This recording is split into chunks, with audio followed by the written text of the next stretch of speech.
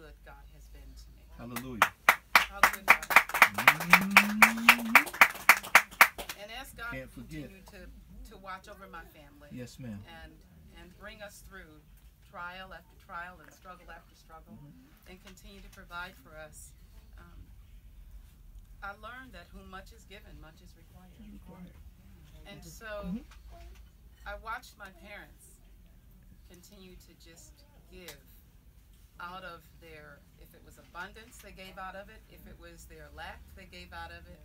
Um, they really raised us to believe and know that we had a responsibility to give back what we've been given Yes, ma'am. and um, and I've tried to I've tried to live that out in my life. I think sometimes it gets hard because we often are surrounded by people who think that they should only give something if they're going to get something.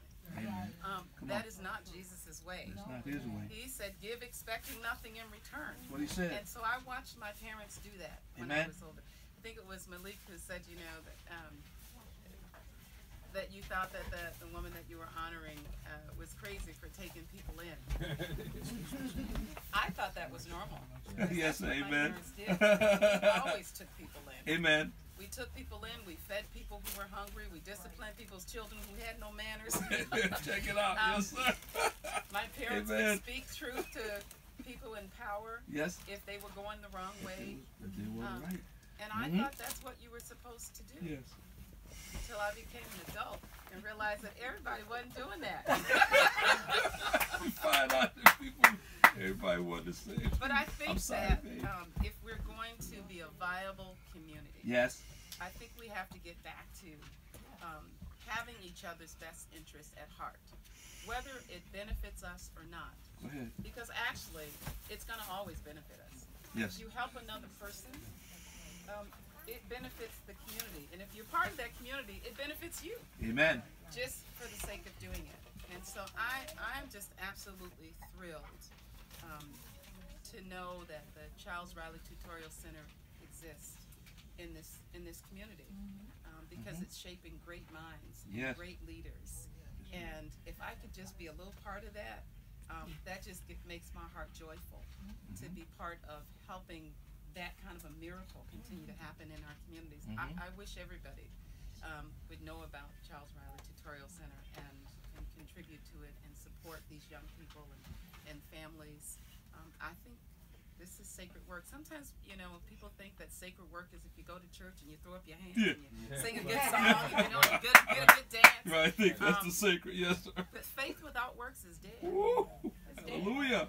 Um, and my grandmother said everything that's dead need to be buried. so, yes, sir. amen. So this is the work of Yes, faith. that's right. Um, Woo. and the Bible teaches us that it's our reasonable service. Yes, ma'am. You know, it's it's it, this this is nothing grand or Yes, ma'am. that I do. I'm just doing my part, Supposed to do um, just as you all are doing your part. Yes. And we put all our parts together, Yes, and we have a whole thing.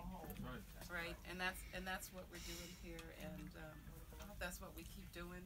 Um, keep investing in each other and keep pouring into each other. I, I think every day about all the people who have poured into me Yes, ma'am. and continue to pour into me. And I'm so grateful because I keep growing because they keep Yes, filling me up.